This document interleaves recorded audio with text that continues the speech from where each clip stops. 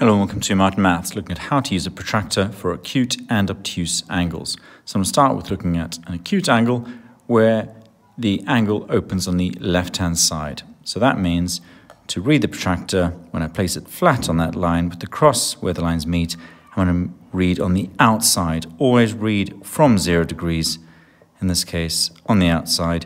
We know it's acute because of that shape, and we know that that is less than 90 degrees and I can read up from zero and see that it is about 44 degrees. If an acute angle is on the right-hand side, it'll look like this. It opens out on the right now. Again, lay that flat, make the cross there. And I'm going to read on the inside now.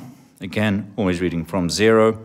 I know that it is less than 90, so I'm not going to say 130 something. I'm rather going to look up from zero and get to about 42 degrees. If I now go to obtuse angles, I know that obtuse angles are greater than 90 degrees and less than 180. Here's one that opens on the left-hand side, so I lay that flat there, reading from the left, i.e. the outside, from zero all the way up to 137 degrees.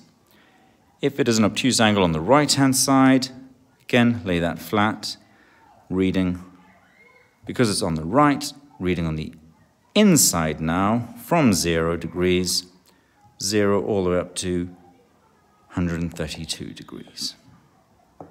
Okay, so there you go. There's acute and obtuse on the left or the right. Just make sure you know which side you're reading and always make sure you know what type of angle it is, whether it's less than or greater than 90 degrees. There you go. That's Martin Maths. Thanks for watching.